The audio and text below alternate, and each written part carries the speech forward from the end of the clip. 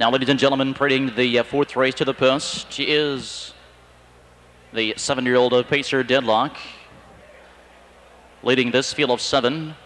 Tonight's invitational pace, racing one mile, a purse of $10,000. Number one is Banquet Table.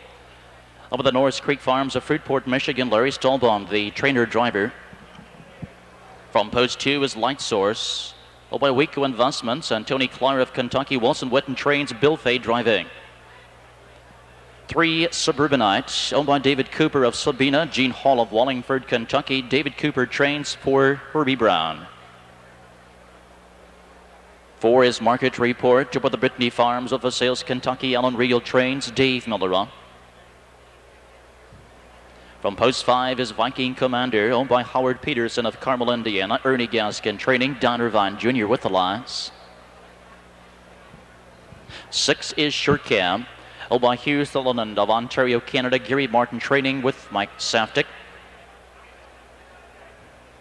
And from the outside, post seven, Travis Hanover, owned by the White Creek Stable of Boynton Beach, Florida. Ron Potter trains. Bob Harper is in the sulky.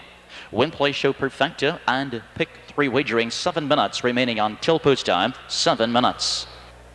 This evening's fourth race, Invitational Pacers all in behind the gate. They're on the backstretch. There they go.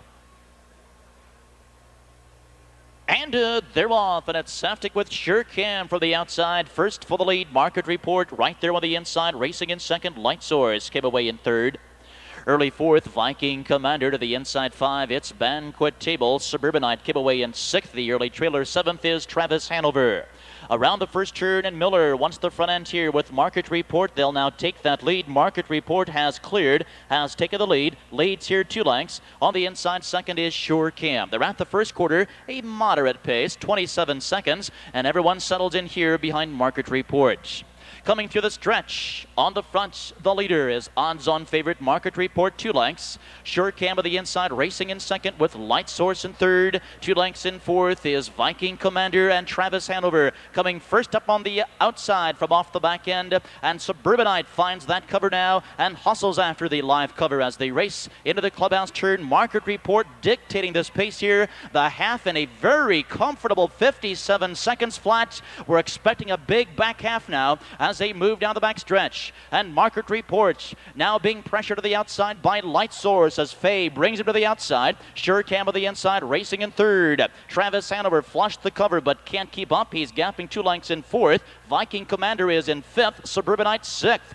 Into the final turn and it's Market Report a half a length at the three quarters. 124 and four. Midway to the final turn and Market Reports now being pressured to the outside by Light Source. Inside Sure Cam is right there. Suburbanite moves into striking position with less than an eighth of a mile to go. And down the stretch they come, and it's Market Reports, Light Source on the outside, and here comes Sure Cam and Viking Commander to the inside as they drive for the wire. Viking Commander using the inside lane, Viking Commander in 153 and one fifth.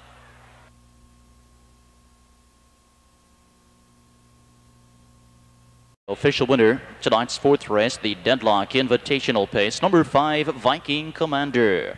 A four-year-old son of Abercrombie from the Albatross mare, No Feathers, owned by Howard Peterson of Carmel, Indiana. Ernie Gaskin, the trainer, driven by Don Irvine Jr. Viking Commander coming in from Hoosier Park, Indiana, recording his fifth of the season, using that late closing kick to get up to win tonight's mile in 153 and 1. And trackside to make the trophy presentation to the Petersons and Gaskins, the owner of uh, Deadlock, Patty Fry.